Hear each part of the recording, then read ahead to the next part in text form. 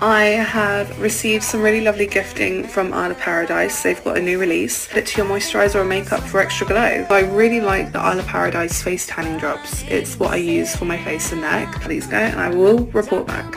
A mask, a lip balm, Rare Beauty hand cream. It doesn't stop there guys.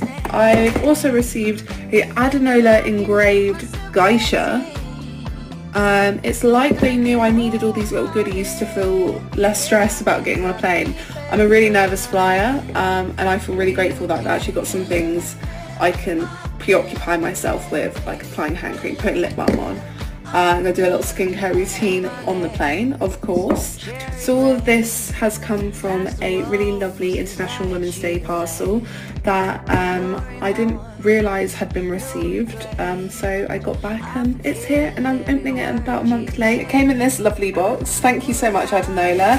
I am